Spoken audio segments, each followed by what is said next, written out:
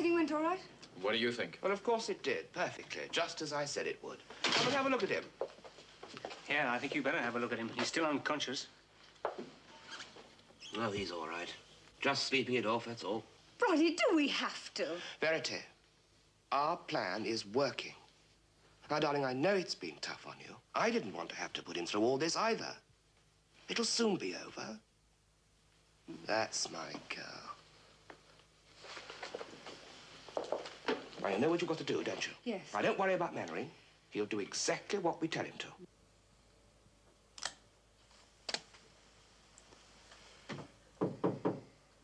Yes. There's a Miss Monton to see you. Monton? She says it's urgent. All right, ask her to come in.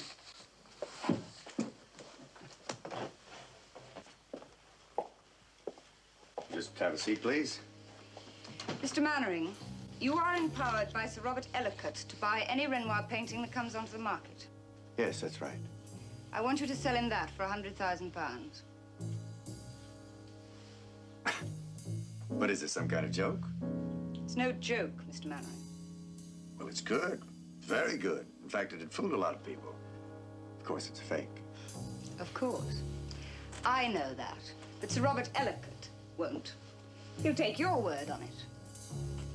I want you to sell him that fake for a hundred thousand pounds. Or David Marlowe gets killed. You think I'm bluffing? That's pretty wild. But if you're not, and you've got him, your next move is to prove it. Oh, yes, that's good. You can talk to him yourself. Can I use your phone? Help yourself.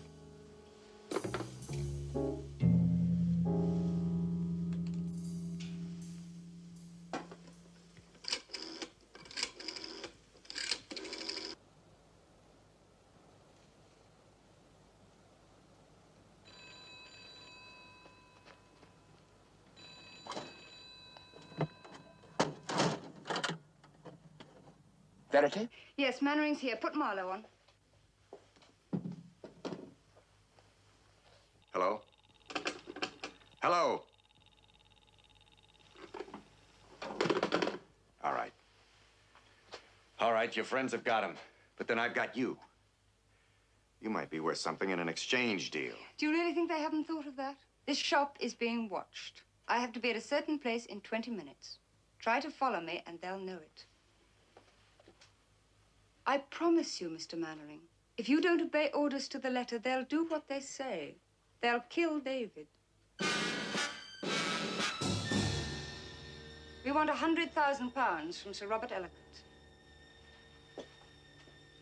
Make the sale, Mr. Mannering. You'll hear from us.